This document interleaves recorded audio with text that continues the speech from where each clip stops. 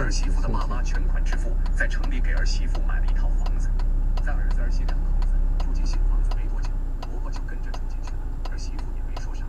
当儿媳妇想把自己的爸妈接过去乡下住时，婆婆就不同意了。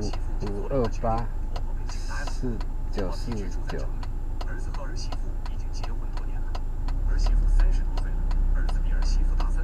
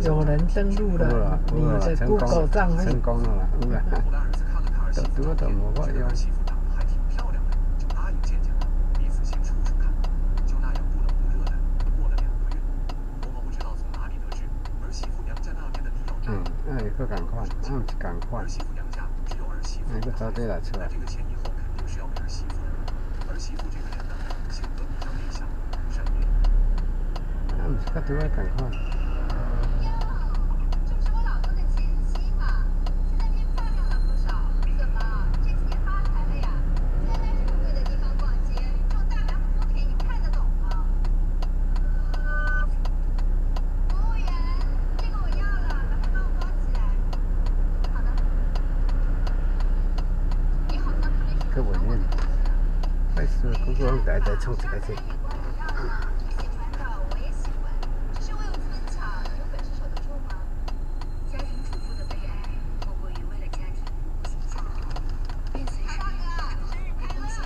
à cái kia đi với yếu yếu trả lại ông người kia ha ta người kia à tiêu hồ yếu trả xẻo ông trả tới vào lại ta người kia mới công thể cho thể học công ta người kia